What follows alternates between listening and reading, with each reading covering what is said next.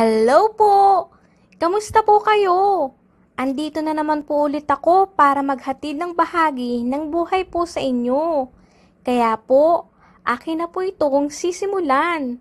Okay, heto na po. Nanaginip ako. Nakatayo ako sa isang malaking puno. Malusog na puno at napakataas at malaking malaki. Sobrang berde ng mga dahon. Siguro dalawang metro ang layo ko. Napapalibutan nito ng bakod na puti na kahoy.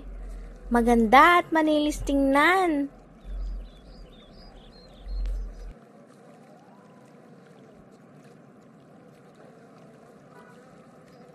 Maya-maya, may natanaw akong isang malaking pangalan. Binaybay kong basahin. Iyong pangalan ay yari sa stainless na hinubog ang letra. At ito'y nakaharap sa kalsada na parang bakod ang laki.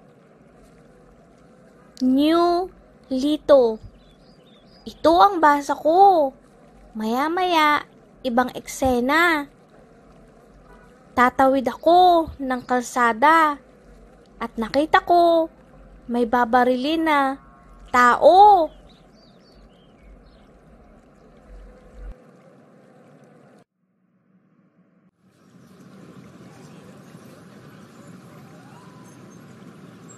Tumalon sa kabilang dimensyon ang panaginip ko. Barya ng isang lalaki sa bote. Binilang.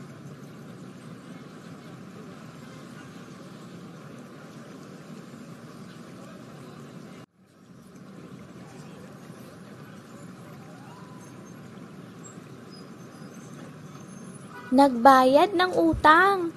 Bumili ng baboy. Ribs. Buto-buto at mga lahok. May bata.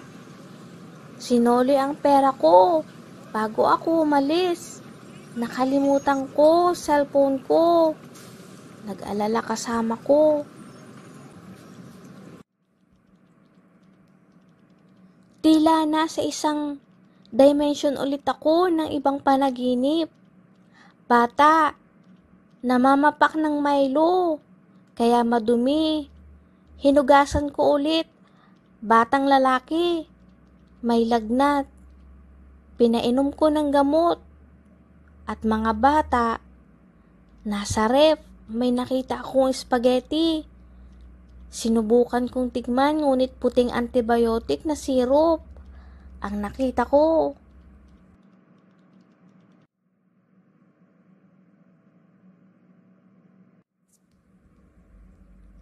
Maya-maya, nasa kabilang dimension ulit ako ng isang panaginip. Babaeng panganay na nagdadalaga. Dahan-dahan binaba ang kapatid na ikalawa na lalaki gamit ang lubid. Mauhulog na sa isang birthday party, ngunit maagap na nakagawa ng paraan. Ligtas itong nakababa gamit ang lubid.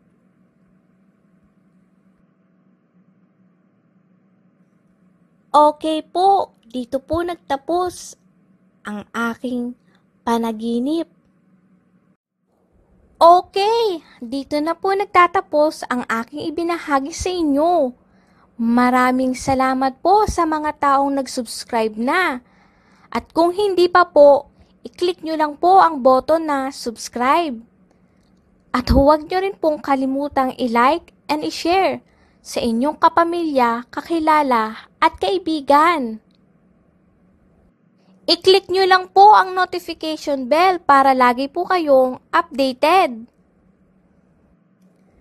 At kung gusto nyo pong magbahagi ng inyong kwento, maaari lamang pong isend ninyo sa Facebook page na nasa description below ng video. Okay! Bye!